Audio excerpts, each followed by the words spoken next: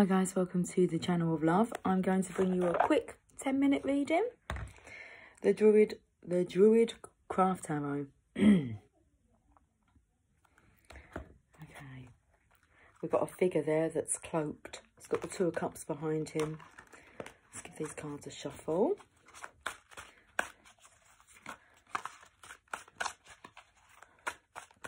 Let's have a look at this energy today. Seven of Swords. That looks like a masculine who is um, trying to work something out. I felt, first of all, like an apology. He's trying to write an apology. But then I felt the energy of going over the accounts. Okay, so I don't feel anything to do with money. This is when you're um, going over past events. You're recalling. Um, it's I feel like it's a ledger with uh, do's and don'ts or uh, pros and cons, cons and pros. He's going over matters, matters in his mind. Let's get another card. Death. So I feel like something's come to an end. In this masculine's life, or it's coming to an end.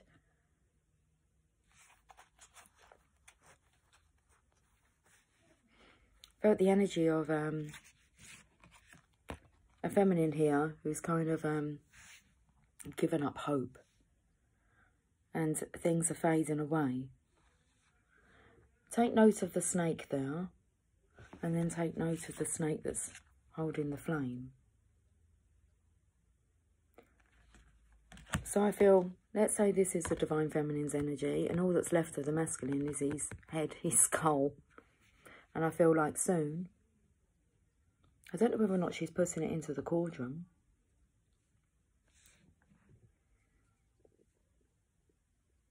It feels like it's the end of this connection. It's like she's severed cords and all that's left is this uh, this masculine's head. To be or not to be, that is the question. And then on the other side, we have the masculine here. I felt an apology letter, um, recollecting, going over the past. Um, definitely your energy is uh, involved in this, Divine Feminine. This masculine's got a lot on his mind. Today, I feel. Maybe this evening.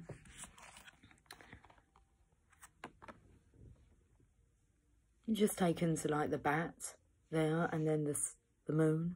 I was going to say the sun setting. Feeling, I feel the masculine's feeling that the sun's setting on this connection with the divine feminine. The snake energy, I feel, is the, the temptation. So the divine feminine kind of saying, well, I was tempted by the snake. And the energy of it being dead and buried now. This is a death card. And then we have the masculine here who's recalling events. I feel seeing them in the light of day. Or maybe in the moonlight. Bottom of the deck here is a Nine of Wands. The energy of wanting to stand and deliver. Something's happened in this masculine's life. I feel that he's feeling the Divine Feminine's energy um, withdrawal. I said there was a, a cloaked figure here.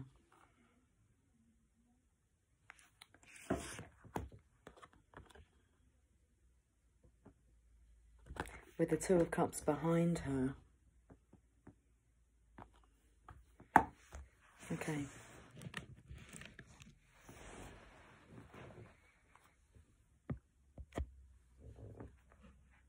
I was going to shuffle them. Let's shuffle them because I've got a few more moments now. Maybe five more minutes. I've just been informed. One more card. The Princess of Pentacles. Hmm. The energy of looking into a mirror, the energy of looking from a different perspective. So you've changed your perspective, Divine Feminine. You're actually kind of looking at a pentacle, so you might be looking at your money. So this masculine here, he's uh, going over the accounts, and I feel like you might be doing the same Divine Feminine, but you're not focusing on the masculine anymore. Where's the death card gone? I must have put it back in the deck. So I've got there. So I've kind of exchanged the death card to your transformation. Let's read about the Princess of Pentacles.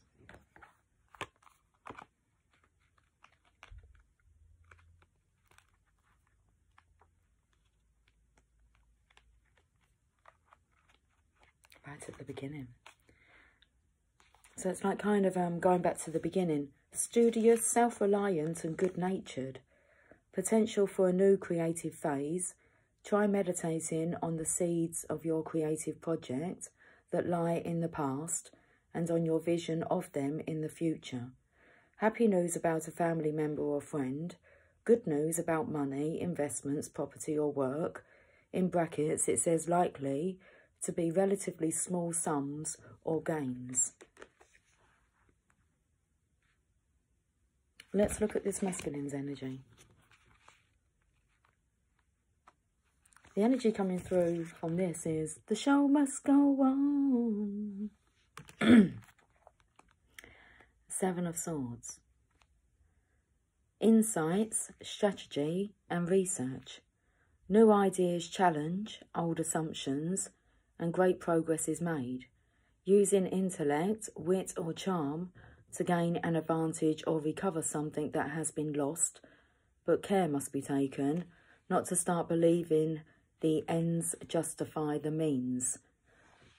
Strategic planning or research, espionage, deceit or escape.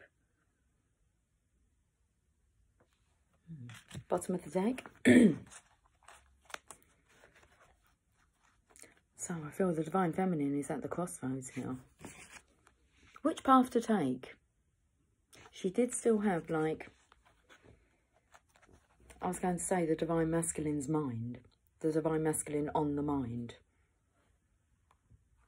Two of Swords. Dilemma, opposition and procrastination. You may bring about a temporary reconciliation. Eventually the storm clouds will break and the conflict will be resolved. You may be struggling with a dilemma, a need for diplomacy, negotiation and integrity, knowing when to confront, when to decide, and when to placate, calm or compromise.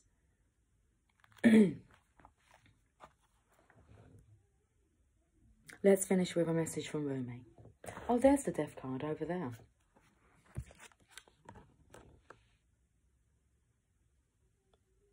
To be or not to be, that is the question.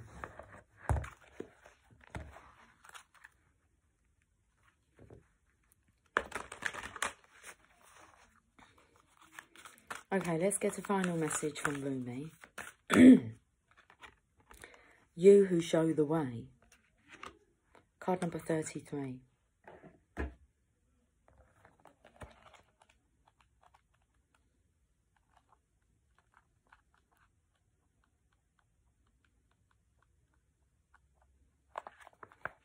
Interesting with this energy here.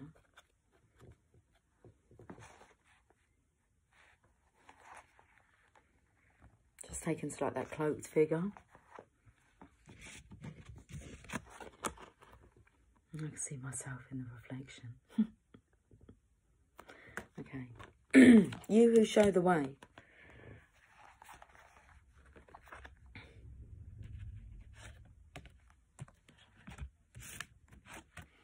I'll hold these two cards up. The logical mind runs away from drowning. Lovers accept drowning in the sea as their destiny. The logical mind finds consolation in reaching a level of comfort in life. Lovers are focused beyond their own comfort.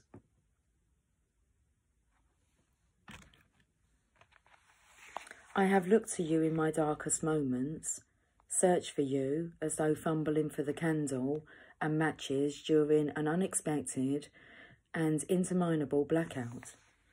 Here's the one with the, the candle lit here. Nay, nay, I've missed out a little bit. I am the ship at sea, seeking you as my guiding light. Nay, I am the sea, rising up to the horizon, because I yearn to be closer to you. Then, oh, to my greatest relief, you rise like a phoenix from the ocean, casting hallowed golden light all around you, this great blazing angel of holy fire. In a sweet instant, my soul rests in your presence. The sea becomes calm, the darkness abates. Your light reveals truth, and through your living presence, I know my true self again. I am what you are, even when it appears I am returning after being lost in darkness, as though I could ever be extinguished. I am divine light, I am you, a living sun. sun rising now.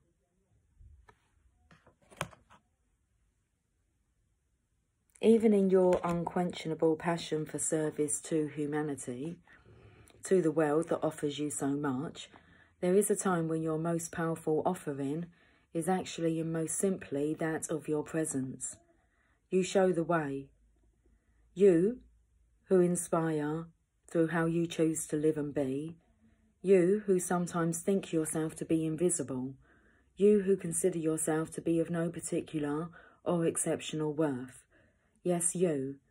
You, who through your choice to live your truth, reveal my face, demonstrate my love, embody my presence, heal my beloveds, and love my creations.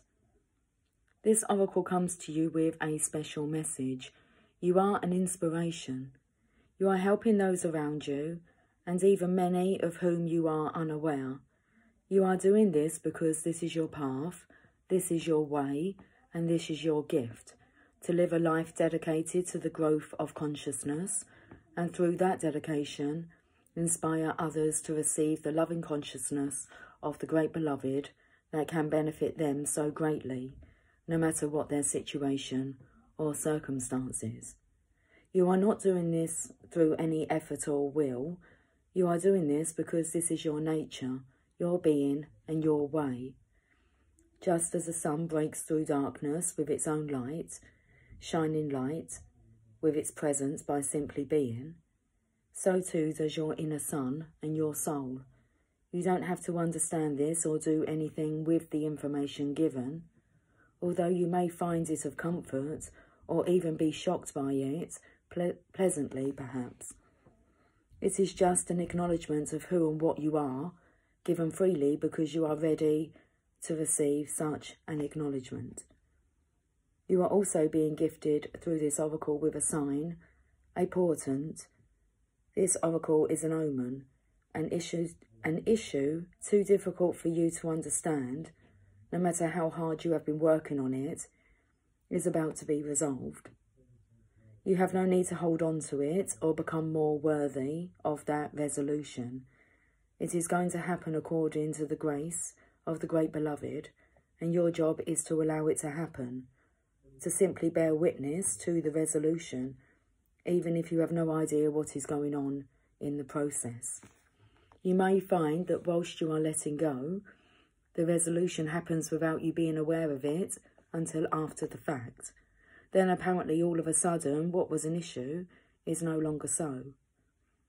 You who help others are a worthy recipient of the help of the great beloved. Be prepared to surrender all plans and convictions about what you can and cannot be, about what you think you know and what you think you need. Allow the benevolent grace of the beloved to take you through the great waves as the sea becomes calm and serene under the living divine light. This oracle brings the message that if you have a situation in your midst that feels impossible to resolve, the divine has it covered. Do the sacred honouring ritual and let it be sorted out by a power greater than your own. It shall be sorted out, and your sun shall rise. Just as day follows night, again and again, so too shall your sun rise after an issue or struggle. Have faith and hope, and know that this is a sensible approach to any dilemma, no matter how serious it may seem. For what use is it to bemoan the absence of day, even on the longest night, when you know in every moment dawn is ever close, closer to breaking once again? Your hope then is not foolish, but wise. The sacred honouring ritual. Place your hands on your heart and say, The divine who loves me unconditionally blesses me now with such grace that my life aligns with divine order and all becomes golden, blessed and mercifully held in the compassionate consciousness of the Creator. I thank you for the courage and faith I have needed to endure the night, and I now celebrate the coming dawn. I see it breaking, I see its light, and I thank you for this mercy. With Rumi, who loves me unconditionally, I am now shown the way to the dawn. It is at my feet, and together we step into the gift of a new day. So be it. If you have a specific issue you would like addressed, hand it over to the Divine Beloved now by talking about it, just as if you were having a conversation with your oldest and dearest friends, for that is exactly what will be taking place. Then when you have explained your feelings, your doubts or fears, let it go and know that the situation is held in the grace of the Great Beloved. You have completed your sacred honouring ritual. And I have completed this 17 minutes and 8 second reading. I will catch up with you guys soon. Until then, take care. Much love. Bye for now.